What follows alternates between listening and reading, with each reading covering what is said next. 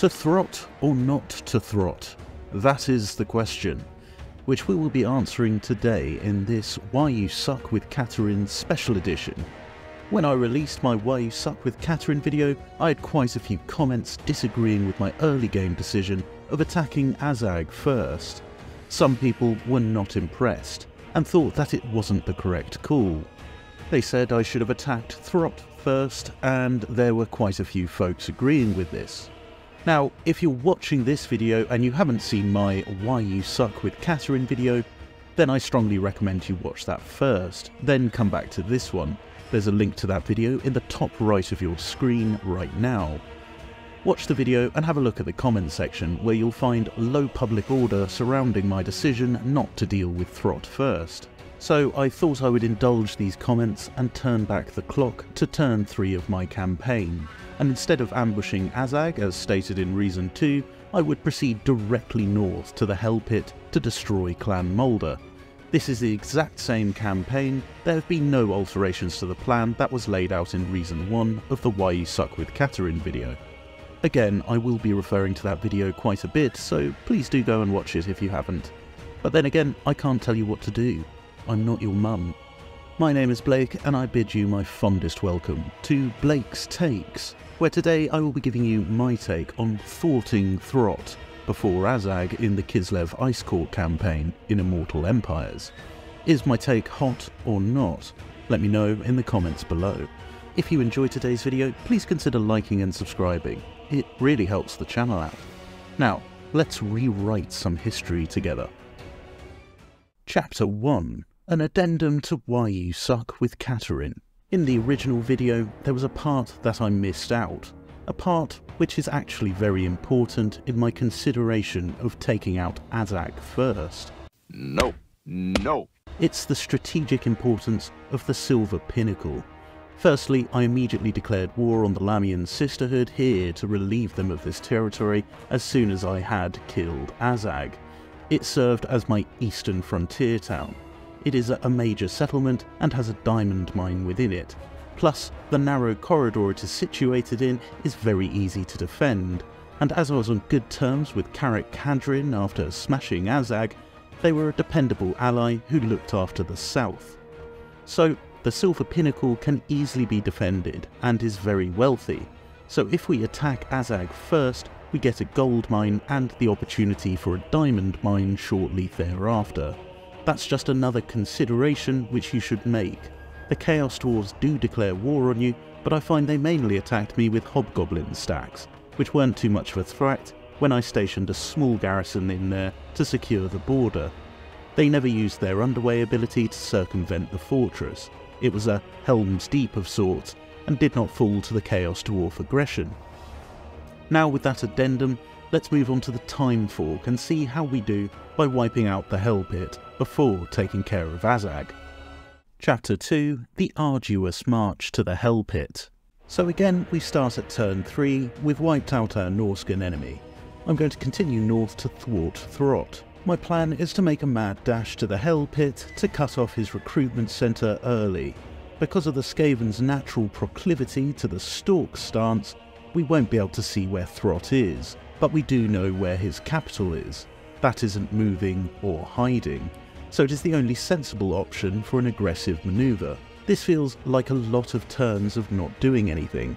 We can't recruit many more units due to lack of income, our provinces are still pretty weak. We do pick up some more Kossars on the way to help us out though, but we're really tight on money. Now I could disband Alexander and merge his forces to Katarin's to save some money, but I chose to keep the Second Lord. This was probably not wise considering how poor we are. At turn 8, we have reached the Hell Pit. There is a massive force in there ready for us to fight. I'm pretty sure we do have enough Kossars, but we're probably going to take some casualties. Now, I want to fight this little Skaven Lord here, so then all the garrison comes out as reinforcements. So we've got kind of lucky here. We haven't had to attack and besiege the walls. Let's jump into the battle and see what happens. We cannot falter, for all the world depends on Kislev. Fight with pride, my people! One step backwards, comrades! Yep, as expected, that battle was pretty painful, but we've scraped through. Only one Kossar was wiped out. It's just an awful lot of rats to be dealing with, with an early game Kossar army. I finish up the rest of the Skaven which are infesting the place. I go ahead and lose the War Cat, but to be honest they're expensive and a bit useless so that's not a big deal. And we've finally captured the Hell Pit. The Hell Pit as a prize is unsuitable terrain, so I suggest sacking it and then occupying it, to extract some fast value from it. Throt has reared his ugly head and wants to fight. We keep our forces in convoy as I mentioned in reason 6 of the Why You Suck with Katarin video, to ensure that we don't get overwhelmed if there is a fight or another Skaven stack lurking around in Stalk stance. Remember that sheer numbers is all Throt has in the early turns of a campaign, so just keep your forces together and you will remove that advantage. Chapter 3 The Time Comparison. Now we're at turn 10. We've taken the Hell Pit and a fair few casualties. Our economy is ropey at best, but we've cut off Clan Moulder's supply of fresh recruits. Clan Mulder still lives. Luckily, Throt decides to suicide himself into my convoy, but we've still got to go and clear out the other territories to finally expunge his presence from the northern oblasts. Finally, by turn 12, Throt has been wiped out, but I didn't know this. By looking back at the footage, I can see that I'm no longer at war with anyone on this particular diplomacy screen with Kostaltin. I wish you got unskippable big pop-ups with certain events, like when an enemy is destroyed as an example.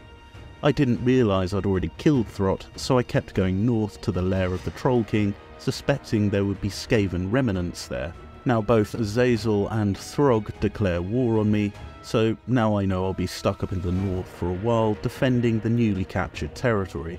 I do, however, execute a beautiful and very lucky ambush on Throg, which I'm very pleased with.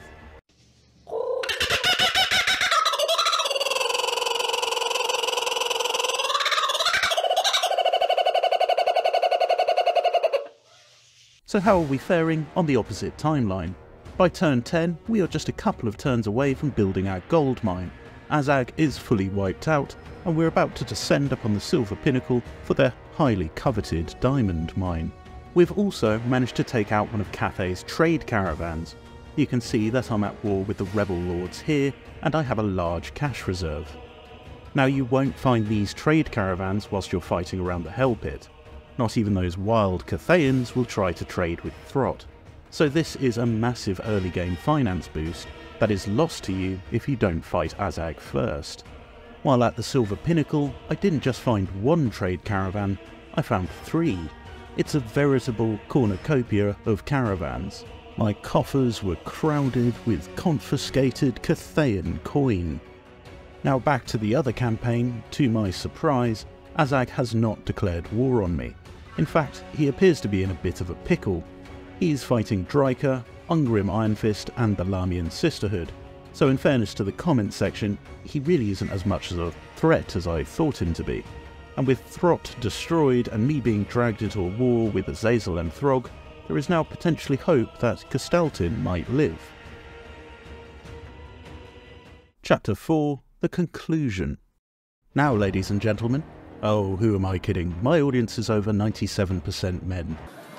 What's better than this? Guys being dudes. What is my opinion?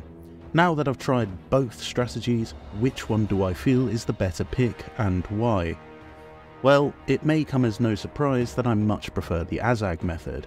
Yes, Azag did not attack me. He did not call for the mighty War that I feared he would in the early game, and Kostaltin may yet live to be confederated another day. But Kostaltin is a pretty average legendary lord. He's not bad, but I actually quite like that he was destroyed, because that meant I could take Erengrad very early, which is one of the wealthiest settlements in the game. Hans, are we the baddies? You lose out on so much early game wealth if you don't attack Azag.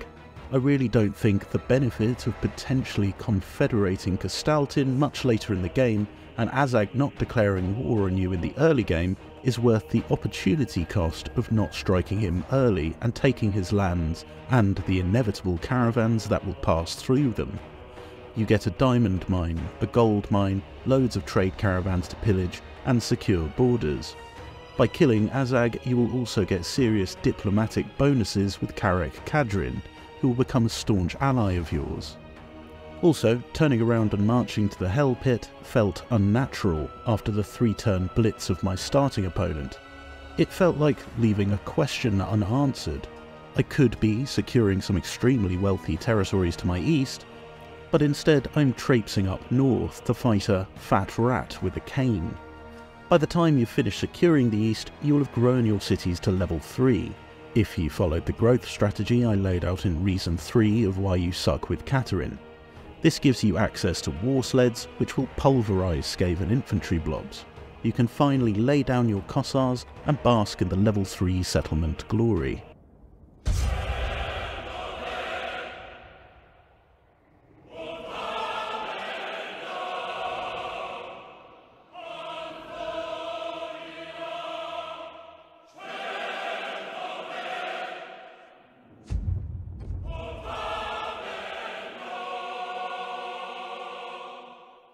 Now that brings me to another point of contention.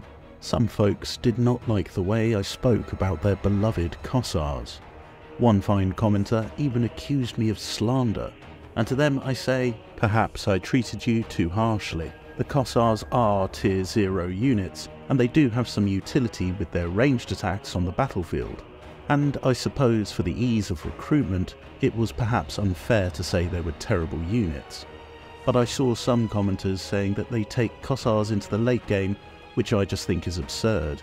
I saw a Kossar unit getting beaten by clan rats, so I still disagree with that. You want to get Streltsy really. They're armoured and they have armour piercing damage. You'll be going up against a lot of high armour enemy units in Chaos and Norsca, so it's good to get prepared for that. The Skaven, in fairness, aren't well armoured, so you can use your Kossars for them, but then I'd advise swapping over to Streltsy and phasing out Kossars. So in conclusion, I still think smashing Azag is the correct way to go, but I loved the debate that unfurled in the comment section, and this video was great fun to make. If you'd like to see more deep dives into other strategies which are bellicosely and pugnaciously hurled at me from the comment section, let me know. And as always, if you've enjoyed today's video, please consider liking and subscribing. It really helps the channel out. I've been Blake, delivering my take. Thank you all so much for watching.